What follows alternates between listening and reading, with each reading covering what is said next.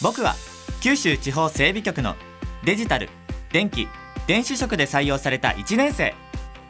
入省する前は真面目な人たちと馴染めるかな。怖い上司がいないかな。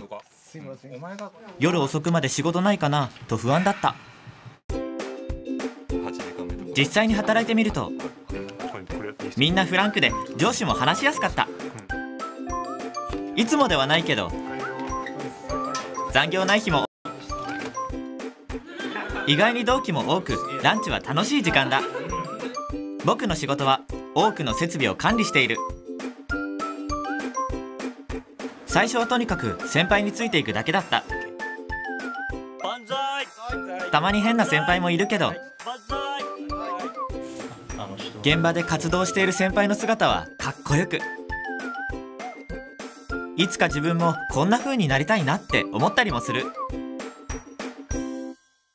半年経って少しずつだけど分かってきた。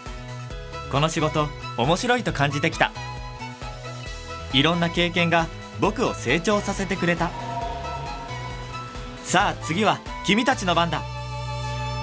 情報通信で社会を支える。九州地方整備局。